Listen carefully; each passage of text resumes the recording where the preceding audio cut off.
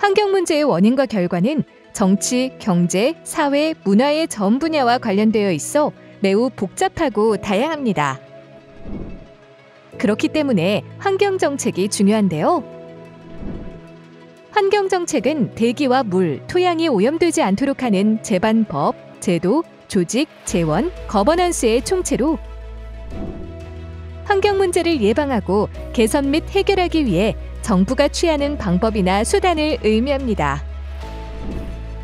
본 과정은 환경정책의 개념과 역사, 환경정책의 이론적 배경, 그리고 환경정책 수립과 실행의 과정으로 구성되어 있습니다.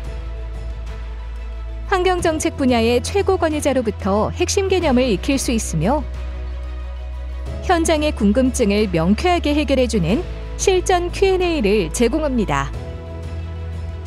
환경정책 이해 과정은 환경 분야에서 미래를 이끌어갈 리더와 전문가를 양성하는 데 큰 역할을 할 것입니다.